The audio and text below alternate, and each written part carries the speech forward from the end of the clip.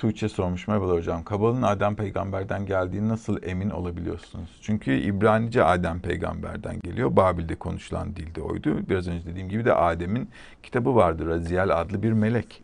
Raziel doğanın gücünü temsil eder. O yüzden tüm yaratılışın arkasında bir güç olduğunu keşfeden Adem bununla ilgili bir kitap yazdı ve İbranice yazdı ve İbranice alfabede kendisinden gelir.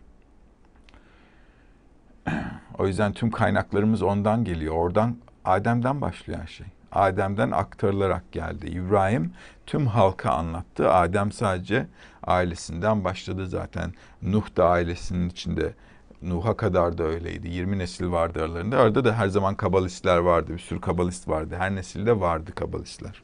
Adem'den sonra her nesilde olmak durumunda gelişimimiz için. O yüzden her şeyin kökü o. Emin olabiliyorsunuz derken çünkü çünkü kitapları muhafaza etmiş adamlar.